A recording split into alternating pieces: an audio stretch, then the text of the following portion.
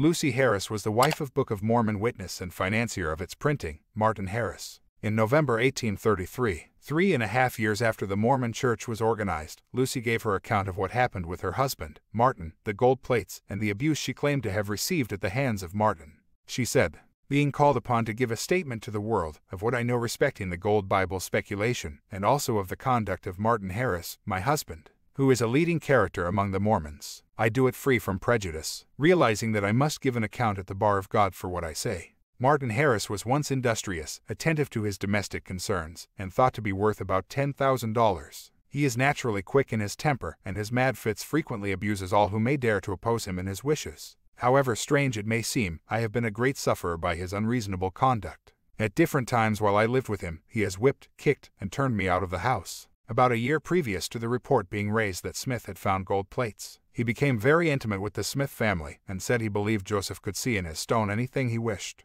After this, he apparently became very sanguine in his belief, and frequently said he would have no one in his house that did not believe in Mormonism, and because I would not give credit to the report he made about the gold plates, he became more austere towards me. In one of his fits of rage, he struck me with the butt end of a whip, which I think had been used for driving oxen, and was about the size of my thumb and three or four feet long.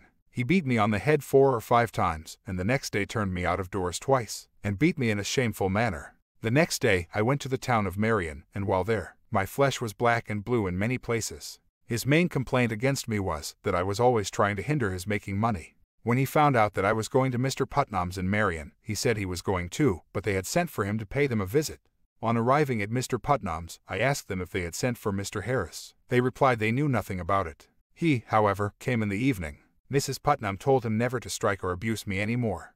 He then denied ever striking me. She was, however, convinced that he lied, as the marks of his beating me were plain to be seen, and remained more than two weeks. Whether the Mormon religion be true or false, I leave the world to judge, for its effects upon Martin Harris have been to make him more cross, turbulent, and abusive to me. His whole object was to make money by it. I will give one circumstance in proof of it.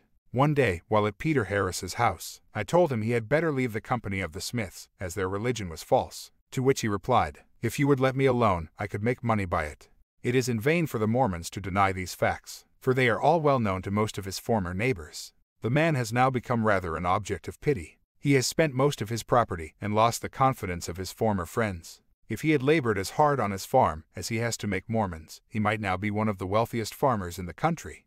He now spends his time in traveling through the country, spreading the delusion of Mormonism, and has no regard whatever for his family. With regard to Mr. Harris's being intimate with Mrs. Haggard, as has been reported, it is but justice to myself to state what facts have come within my own observation to show whether I had any grounds for jealousy or not.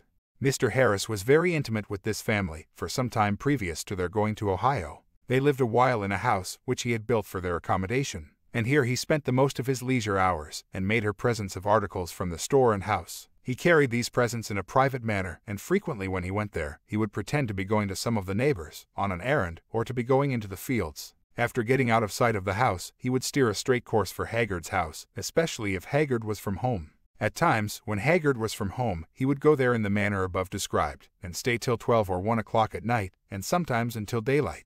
If his intentions were evil, the Lord will judge him accordingly. But if good, he did not mean to let his left hand know what his right hand did. The above statement of facts I affirm to be true. Lucy Harris